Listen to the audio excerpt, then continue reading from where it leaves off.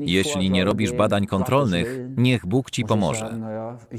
Mówię, że zajmuję się profilaktyką, tylko nie z konwencjonalną medycyną, bo oni tego nie robią. Nie biorą pod uwagę istoty choroby. Jak mogą powstrzymać coś, o czym nie wiedzą? To, co robią, to oszustwo. Robią wczesną diagnostykę, a nie zapobieganie. Polaryzacja. W przypadku raka wczesne wykrycie jest oczywiście lepsze niż późne, ale to nie jest zapobieganie.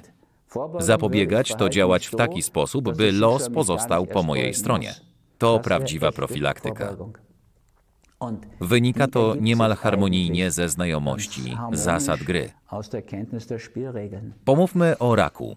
Co w jego przypadku się dzieje? To, co widzimy, to agresywny, atakujący i brutalny wzrost tam, gdzie nie powinno go być, z tendencjami autodestrukcyjnymi. To nierozwiązana, destrukcyjna sytuacja. Zgodnie z prawem polaryzacji musi istnieć również wersja rozwiązana. Byłby to śmiały rodzaj wzrostu, który ma odwagę, jest decydujący, konfrontacyjny. Patolodzy diagnozują to jako rozwój, a nie rozdęcie jądra komórkowego, jak to ma miejsce w przypadku raka w komórkach. Zamiast rozwijać ego, kiedy postrzegamy jądro jako głowę komórki, dążymy do samorealizacji, samorozwoju. To jest właśnie rozwiązany problem. Zamiast tej brutalności i samozniszczenia przez raka, powinniśmy radykalnie skupić się na jego korzeniach. Koniec z wymówkami i kompromisami. To wielka szansa na zapobieganie, a nawet wyleczenie i uzdrowienie raka. Książka, którą napisałem o raku, nosi tytuł Rak wzrost, który nie powiódł się. Rak to zła droga, droga okrężna. Zamiast tego moglibyśmy dobrowolnie rozwijać się. To prawdziwa profilaktyka. Śmiała i agresywna.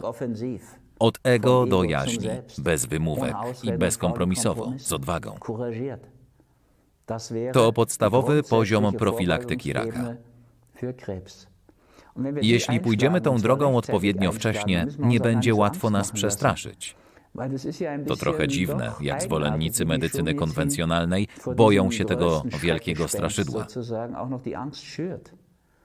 Epidemiolodzy przewidują, że połowa populacji Niemiec zachoruje na raka.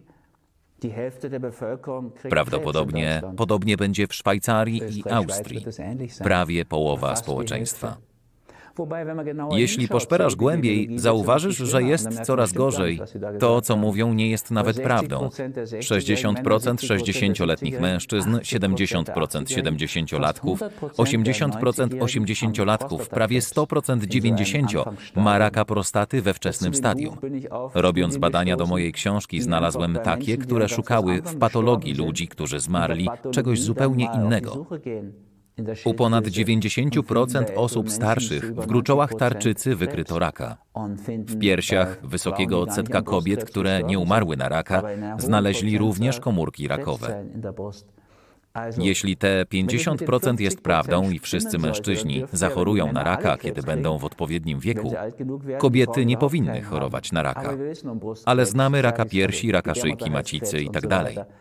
Oprócz tych typowych nowotworów kobiecych dotknięte są także przez inne żołądka, kości, nerek. Epidemiologia przedstawia nam bardzo ponury obraz. Dla nas może to być prawdziwy impuls do wzrostu bodziec do uwolnienia własnego potencjału i rozwoju, do stania się ludźmi, jakimi moglibyśmy być. Osobą, którą możesz być. Moglibyśmy myśleć o tym w każdej chwili naszego życia. Na początku dorastamy fizycznie. Jesteśmy z tego dumni, kiedy widzimy to w naszych dzieciach. Następnie lub w międzyczasie doświadczamy również wzrostu społecznego. W przedszkolu rozwijamy społeczne umiejętności, także w szkole. Musimy też rozwijać się psychicznie. Musimy rozwijać świadomość na każdym etapie naszego życia. Z mojego punktu widzenia i według wszystkich religii i tradycji potrzebujemy również rozwoju duchowego. Powinniśmy kierować się jednością, i odnajdować wszystko w nas i siebie we wszystkim. Tatwamasi, jak mówią Indianie. Kochaj bliźniego swego jak siebie samego. Instrukcje są dość jasne, a wszystkie tradycje i religie zgadzają się, dokąd zmierzamy. Moglibyśmy również dowiedzieć się czegoś o zjawisku wzrostu raka z punktu widzenia patofizjologii, z punktu widzenia medycyny.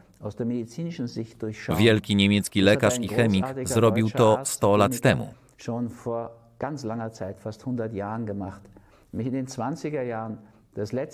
W latach 20. XX wieku Otto Warburg zajmował się rakiem. I rzeczywiście odkrył to, co najważniejsze. Odkrył, że rak rozwija się głównie w tkankach niedotlenionych. Tkanki z niewystarczającą ilością tlenu podczas oddychania lub utleniania przestają działać prawidłowo, gdy ciało jest zakwaszone. To właśnie sprzyja chorobom, a przede wszystkim rakowi. Możesz zapytać, jeśli odkryto to tak dawno temu, a w 1931 otrzymał za to Nobla, gdzie są badania następcze? Czy medycyna konwencjonalna nie była tym zainteresowana? Nie ma ani jednego badania. Niektórzy eksperci w dziedzinie zdrowia naturalnego i kilku lekarzy drążyli dalej. My, którzy interesują się medycyną naturalną, korzystamy z tego. Natychmiast przepisuję pacjentom z rakiem kwasoodporne kapsułki z proszkiem alkalicznym. Połykanie sody oczyszczonej nie wystarczy, żołądek to nie fabryka. Zneutralizowanie całego kwasu jest zbyt męczące dla żołądka. Zneutralizowanie proszku alkalicznego. Kapsułki muszą być odporne na działanie kwasów, aby mogły przejść przez żołądek i otworzyć się w jelitach, gdzie środowisko jest naturalnie zasadowe. Moją radą jest całkowita zmiana na dietę roślinną, pełnowartościową żywność. Jest to głównie dieta alkaliczna. Zalecam również ćwiczenia oddechowe. Oddychanie połączone to magiczne narzędzie, aby doświadczyć najgłębszego relaksu i poczucia jedności, osiągnięcia pewnych wyżyn. Nie chcę tego przegapić i praktykuję to od 40 lat w mojej pracy lekarza. Ale oprócz mojej pracy lekarza, mój ulubiony rodzaj pracy to zapobieganie w sensie przewidywania. Przewidywanie, aby zminimalizować późniejsze trudności. Poczucie bezpieczeństwa. Dlatego nie musimy czekać na raka. Możemy zacząć od razu. Polecam film Choć goni nas czas z Jackiem Nicholsonem i Morganem Freemanem. Z jednej strony widzimy, jak poważne problemy komunikacyjne powstają i jak mogą prowadzić do raka płuc. Film pokazuje również, co dzieje się po tym, jak oboje przezwyciężyli szok związany z diagnozą i chemioterapią, która się nie powiodła. Jak to często zdarza się pacjentom. Oczywiście nie dla Big Farmy. Pod koniec filmu oboje nie żyją ale jeden z nich doświadcza spontanicznej remisji. Jack Nicholson, grający Edwarda Cola, mówi: Jestem cholernym cudem. Wyszedł poza siebie i ponownie nawiązał kontakt z ludźmi, których kocha najbardziej z córką i z wnuczką.